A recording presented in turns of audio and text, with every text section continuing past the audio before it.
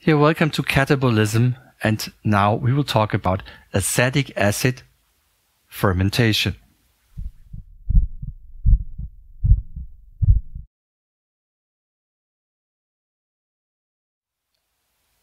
Have talked in other tutorials about real fermentation pathways. Acetic acid fermentation pathway was historically termed fermentation, as you will see later on, but nevertheless, it's also not a secret. And this pathway, of course, is also relevant in applied microbiology, and it's not so complicated to understand. So here we go, how you produce vinegar from ethanol. That's being told in this tutorial. Now we come to the last fermentation pathway, which is acetic acid fermentation.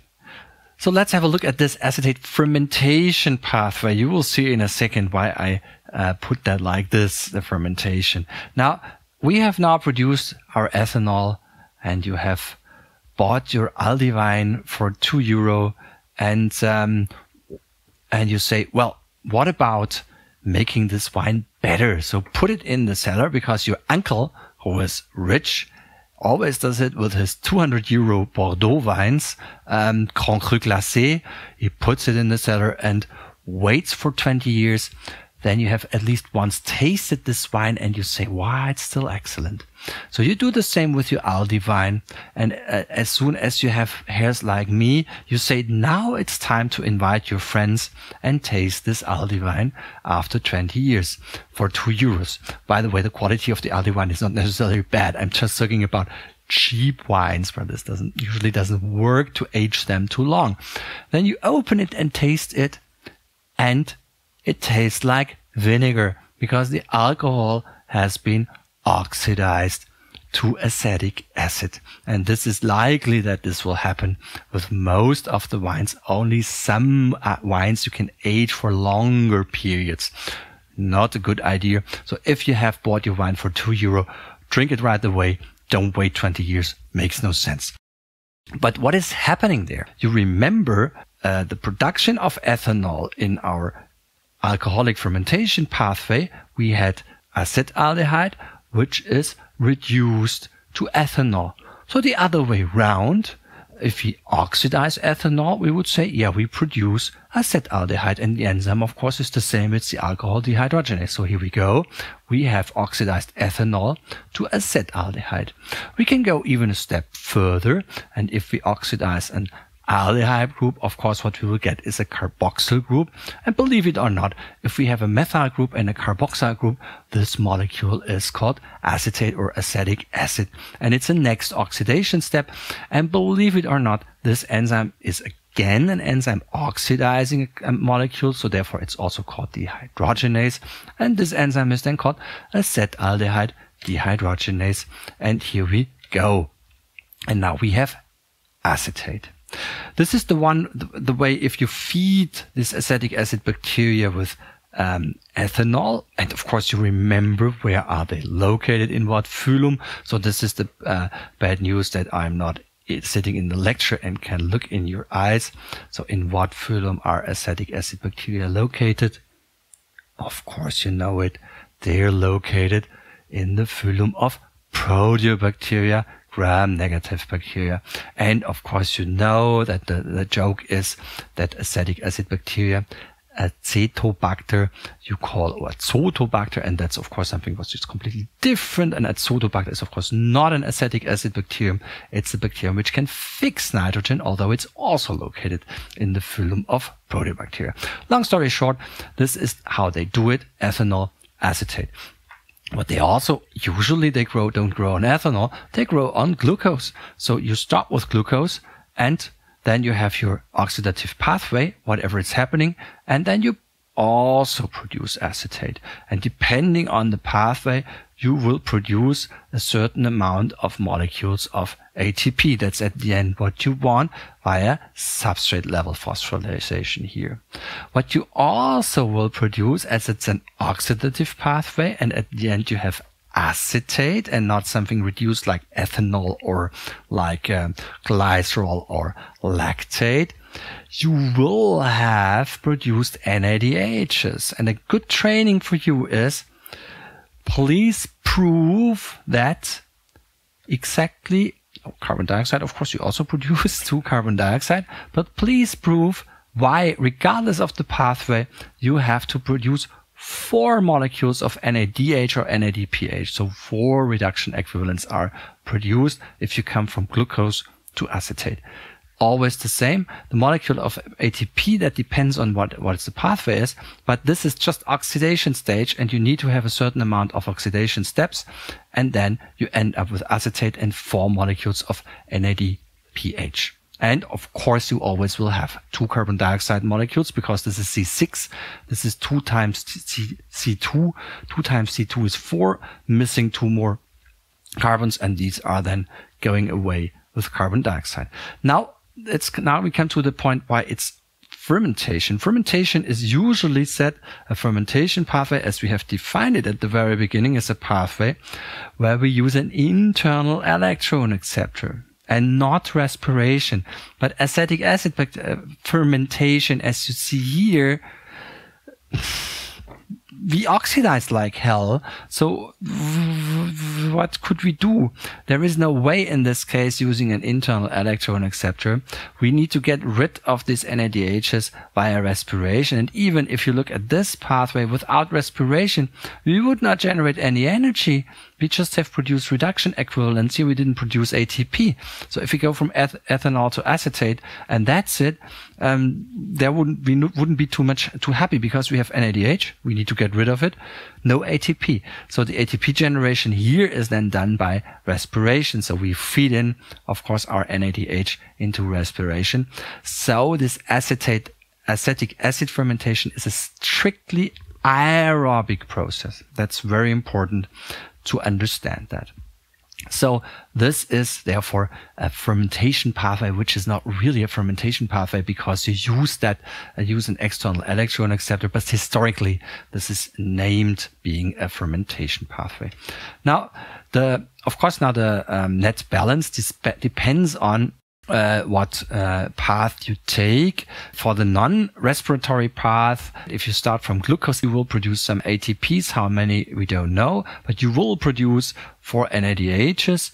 And if you come from ethanol to acetate, there is no ATP being produced in this pathway. So you produce just NADHs. And then, of course, for the respiration, you know that NADH is oxidized uh, with half of a molecule of O2 and produces three ATP. So you see that here you have six ATPs with respiration.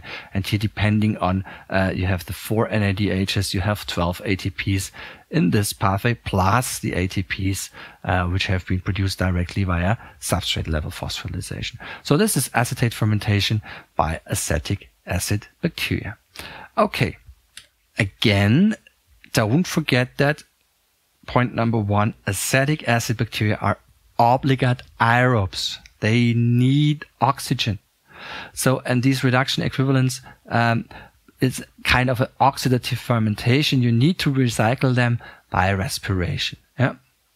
So interestingly, many of these redox uh, reactions are already membrane associated and directly uh, linked to electron transport chains. So therefore, you even don't need to put that on NADH. It's just the uh, the reduction, let's say the, the electronegativity of what you have produced there is the same as NADH. So whether you put that directly on another molecule or not, it's kind of an NADH equivalent. But that's of course cool if you rely so much on this oxidative process. You can optimize that.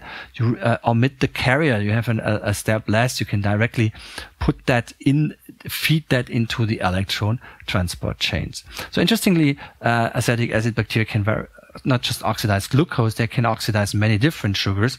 And that's also used as an application, as you will see later on. Key organisms we will also um, have a look in the lab course on that is Acetobacter uh, species and Gluconobacter species, especially here Gluconobacter oxidans.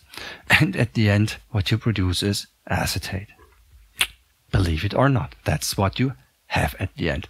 You can also um, oxidize uh, other things than sugar. And uh, so, for example, in our lab course, we make a a test where we start from glycerol as a substrate. So glycerol we can, for example, produce with our yeast with a Neuberg 2 fermentation pathway. And if we oxidize now in the middle of our glycerol, um, the C, at the C2 position, the hydroxyl group, we end up with dihydroxyl acetone. This you can use as a tanning agent and then you look brown, although you're of course not being protected from sun. Another thing is you can of course oxidize a broad range of substrates, um, for example sugar, and of course you can oxidize ethanol and this is used in vinegar production. This is certainly the main product. But depending on the substrate, you might produce other things like L-ascorbic acid, dihydroxyacetone, gluconic acid, cellulose, and so on. So there is a variety of different options you have with acetic acid oxidative fermentation. Now, overall, um, what I use these fermentation pathways for, I produce energy in the absence of an external electron acceptor. This means, of course, that Uh, if I produce one molecule of ethanol, I could kind of calculate how many molecules of ATP I have produced. So this fermentation product is directly linked to energy production. You will see later on in bioprocess engineering why this is important. So all fermentation products or fermentation pathways are directly linked to energy production. Also acetate is directly linked to energy production. Now, if um, you have no respiratory pathway in your organism. So if you're lacking the respiratory chain, then you are an obligate fermenters and many organisms are that like lactic acid bacteria. Lactic acid bacteria have to do fermentation but also clostridia have to do it. The difference by the one difference by lactic acid bacteria and clostridia is that lactic acid bacteria tolerate oxygen. They cannot use it but they tolerate they are tolerant clostridia are strictly anaerobe so of course that makes things easier if you use the lactic acid bacteria in production because you don't have to keep that oxygen always away now, the major pathways in food production and biotechnology, as already said, are lactic acid fermentation, alcohol fermentation, and acetic acid fermentation. Of course, we remember that's an oxidative pathway. Um, now, this are just three pathways. So, of course, the variety and the diversity in the bacterial kingdoms for ferment, uh, fermentation pathway, it's enormous. It's incredible what amount of um, products you can form. And of course, many of them also have an impact in, um, in production and so on, but certainly a lower impact than uh, the, uh, the, things, uh, the fermentation products we have talked about before. Um, however, um, if you have understood these principles, it's easy to read to read another pathway. So the, like I say, the, the most specialized fermenters are certainly Clostridia. They have many additional fermentative pathways and cool pathways like the Stickland reaction where you use one amino acid as an electron donor and the other ones um, as uh, to take up the uh, to take the reduction equivalents and so on. So this is really cool. And of course, this is then the, the pathways are beautiful if you look at them, but this goes far beyond what we do here. And this is certainly from the impact in biotechnology. This is certainly lower than the impact of these pathways we have talked about. Yeah, thank you very much for your attention. And I'm sure that you're now aware of that an acetic acid fermentation pathway is strictly aerobic and therefore not really a fermentation pathway, but nevertheless, historically, it's subsumized under that. And you feel relaxed because it was not so complicated as it sounds like. Thanks again for your attention and goodbye.